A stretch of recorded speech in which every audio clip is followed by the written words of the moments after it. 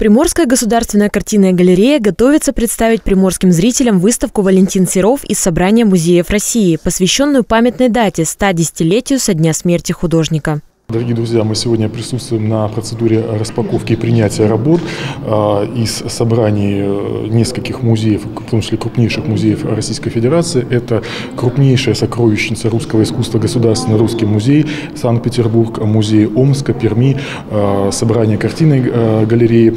То, собственно, мы представляем зрителю проект, который посвящен очень важной дате в истории отечественной культуры, 110-летию со дня смерти выдающегося русского художника Валентина Александровича Серова. Около 60 произведений живописи, авторской и печатной графики э, иллюстрируют 30-летний э, путь его творческой биографии. Впервые столь масштабная выставка организована вне обеих российских столиц – Москвы и Санкт-Петербурга. Произведения собраны из ведущих музеев страны – Государственного русского музея, Приморской картинной галереи, Омского областного музея изобразительных искусств и Пермской художественной картинной галереи и отражают творческий путь мастера длиной в три десятилетия. В настоящий момент мы как раз проводим а, сверку сохранности предметов Русского музея, поступивших к нам на выставку.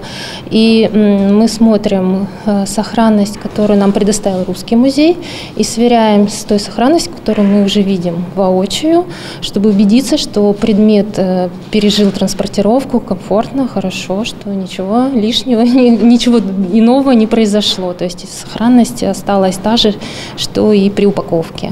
Выставка откроется 4 декабря и продлится до 13 марта. Екатерина Зверева, Денис Фадеев. Новости на восьмом.